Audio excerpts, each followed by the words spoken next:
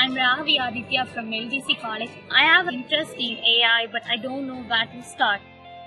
At college, let us know about the internship program.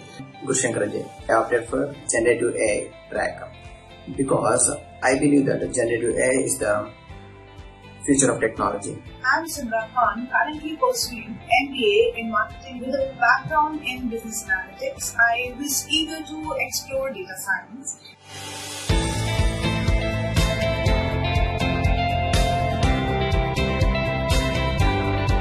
Learned about breast cancer prediction, in which we studied some data and built a model which can predict whether a patient has breast cancer or not.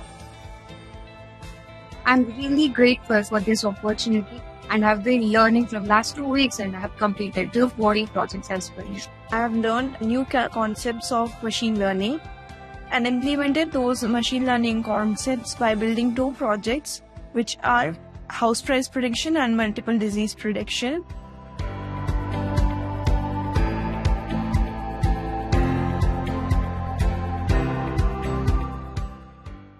The internship program is providing a unique opportunity to acquire practical work experience in a virtual setting.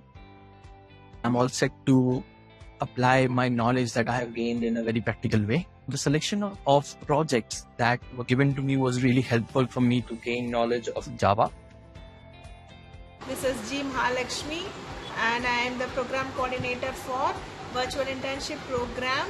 Our students are eagerly attending and, and they, they get some ideas about the new era courses. This will be very helpful for the future graduates and for those who join companies